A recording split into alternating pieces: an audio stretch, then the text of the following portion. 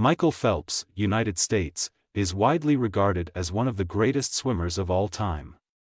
He holds the record for the most Olympic gold medals won by an individual athlete, with 23 golds and 28 total medals in his career.